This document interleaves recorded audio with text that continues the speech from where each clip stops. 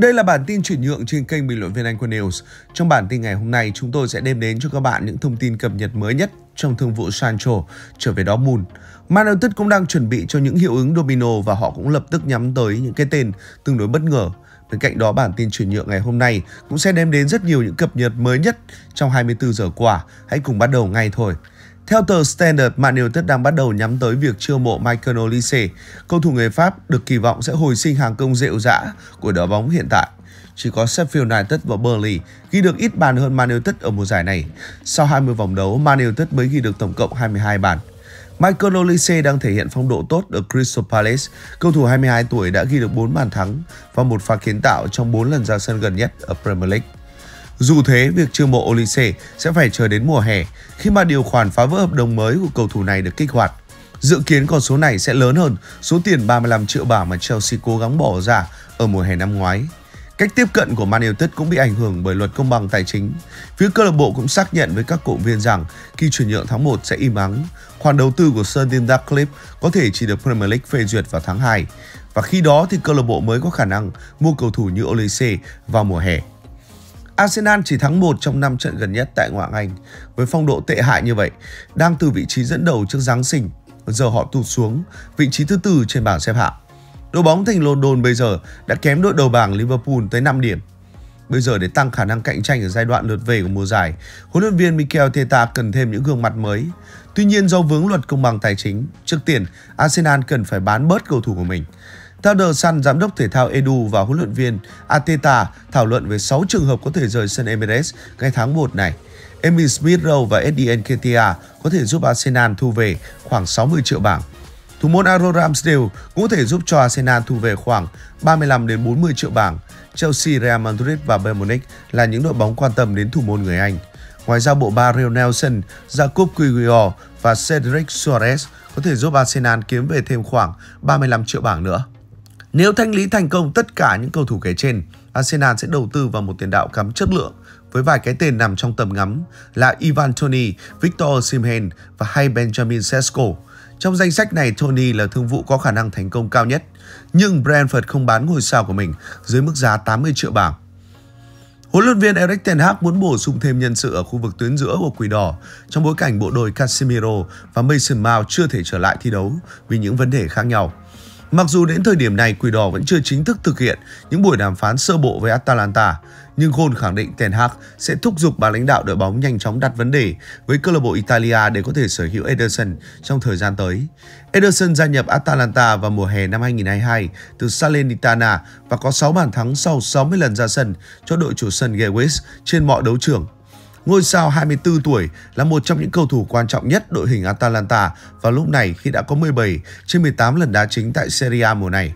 Anh góp công lớn giúp đoàn quân huấn luyện viên Gian Piero Gasperini đứng thứ 6 trên bảng xếp hạng với chỉ 4 điểm kém hơn đội xếp thứ tư hiện tại là Fiorentina, vị trí có thể giành vé dự Champions League vào mùa sau. Hợp đồng hiện tại giữa tiền vệ sinh năm 99 với Atalanta còn thời hạn đến tháng 6 năm 2026. Vậy nên Man United sẽ phải chi ra một số tiền chuyển nhượng không nhỏ để thuyết phục đội bóng nước Ý nhà người. Huấn luyện viên Eddie Howe đang đối mặt nhiều khó khăn tại Newcastle United. Sau 1 phần 2 chặng đường đi qua mùa giải năm nay, chiếc chòe xếp thứ 9 ở Premier League, cách vị trí thứ tư của Arsenal khoảng cách 11 điểm. Trong bối cảnh đó, Newcastle nhiều khả năng tìm kiếm viện binh trên thị trường chuyển nhượng vào tháng 1. Theo tờ Metro, chiếc chòe quan tâm sát sao đến tài năng trẻ Andre Santos, tiền vệ 19 tuổi khoác áo câu lạc bộ Nottingham Forest dưới dạng cho mượn từ Chelsea. Truyền thông xứ sở sương mù loan tin The Blue có kế hoạch gọi trở lại Santos khi anh không có nhiều thời gian thi đấu ở Nottingham. Kể từ khi cập bến đội chủ sân City Ground, tiền vệ người Brazil có vỏn vẹn hai lần ra sân. Santos được giới chuyên môn nhận định là một trong những ngọc quý của bóng đá Brazil. Tiền vệ sinh năm 2004, cập bến Chelsea từ Vasco da Gama. Santos có lần đầu tiên khoác áo đội tuyển quốc gia vào tháng 3. Hợp đồng hiện tại giữa Santos và Chelsea có thời hạn đến năm 2030. Điều đó chứng minh The Blue đánh giá cao tiền vệ 19 tuổi ra sao. Chelsea nhiều khả năng đồng ý bàn hợp đồng cho mượn thay vì bán đứt Santos.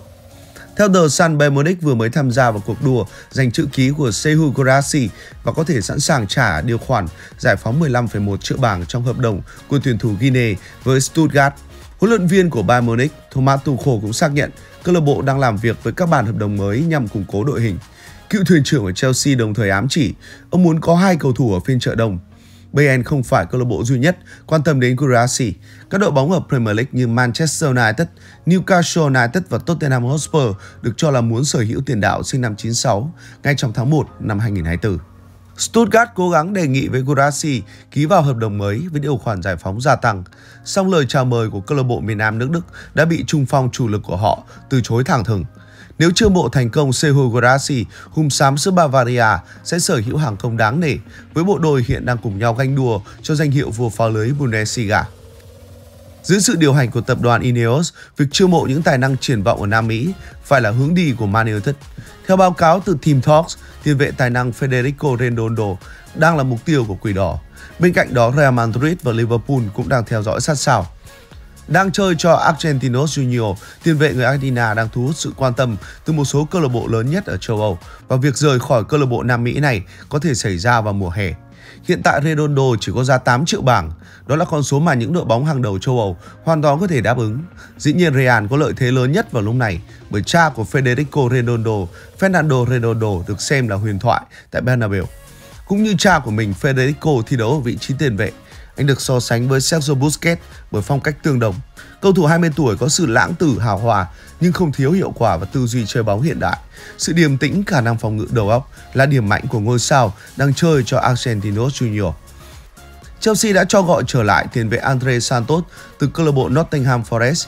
Cầu thủ người Brazil là một trong những bản hợp đồng mới gia nhập đội chủ sân Stamford Bridge hồi mùa đông năm ngoái với mức giá 18 triệu bảng. Sau đó ở kỳ chuyển nhượng mùa hè, Andre Santos đã được đem cho Nottingham Forest mượn với bản hợp đồng có thời hạn một năm.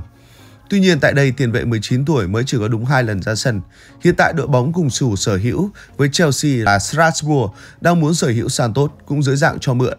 Dù vậy The Blue cần phải gọi thêm một cầu thủ đang cho mượn ở nước ngoài nếu muốn đẩy Santos ra đi. Theo luật, mỗi đội bóng chỉ được cho mượn tối đa 7 cầu thủ ở các giải bên ngoài. Hiện tại họ có Gabriel Solonina trong màu áo Open, David Fofana đang chơi cho Union Berlin, Angelo Gabriel thuộc Strasbourg, Diego Moreira tại Lyon và ba ngôi sao gồm Hakim Ziyech, Kepa cùng Lukaku đều đang được cho mượn. Chelsea muốn tiếp tục cho Andre Santos đi tu nghiệp để tích lũy kinh nghiệm trước khi để cầu thủ này thi đấu cùng đội 1. Jadon Sancho đang tiến một bước rất dài trong việc rời khỏi Old Trafford và trở về mái nhà xưa. Câu lạc bộ Borussia Dortmund dưới đây là những gì mà chúng ta được cập nhật về thương vụ này. Thương vụ này đang bước vào giai đoạn then chốt, theo những gì nhà báo Fabrizio Romano đăng tải. Sancho đang thúc giục phía Dortmund hãy hoàn thành bản hợp đồng này càng sớm càng tốt. Các bên đang có những vòng đàm phán để dứt điểm trong những ngày tới. Man United đã sẵn sàng chấp nhận một bản hợp đồng dưới dạng cho mượn và họ phải trả một phần lương của Sancho. Dù vậy, phía Dortmund sẽ phải trả một khoản phí chuyển nhượng và khoảng 3,5 triệu euro. Theo hiệu ứng domino, tiền vệ Donjen Malen sẽ phải rời sân Signal Iduna Park trong mùa đông này hoặc chậm nhất là mùa hè năm sau. Khi Sancho chính thức trở lại, cơ hội ra sân của Malen sẽ càng trở nên hạn chế và anh sẽ phải sớm đưa ra quyết định.